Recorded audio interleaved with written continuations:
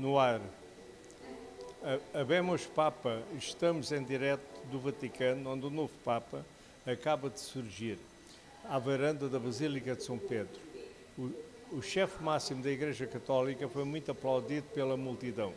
O Papa Francisco é argentino e vem substituir Bento VI, anunciado esta tarde quando se o fumo branco pela chaminé da Capela Sistina. Por agora, tudo nesta reportagem em direto.